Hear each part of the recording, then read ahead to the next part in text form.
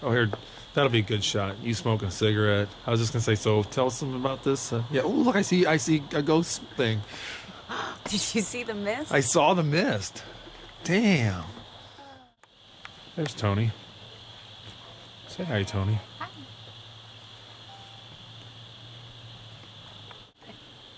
We're at Bob Your Knob Bridge, Bob, you're not. looking for the devil dogs. Salami bridge. Bridge has a wood bottom.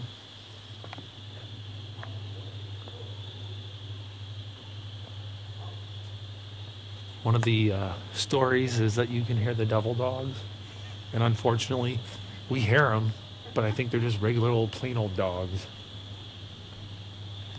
Sound like dogs, little puppies. No. Yep. There's the devil dogs. Sounds like a damn cop siren. What's going on? They know we're conjuring up spirits. Do you hear that crap? And it's gone. Just like that. And then what is the other story? A little kid? A little kid, apparently. A little kid, yeah. Um, two suicides and one accidental death.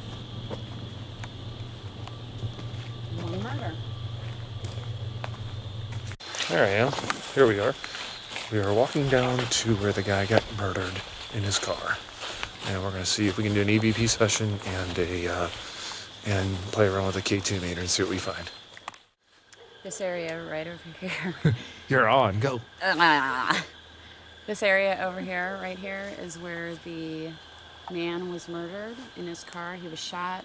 He climbed under his car, and was the car was set on fire, and they took off. And there are claims of a devilish figure in photos back here in EVPs.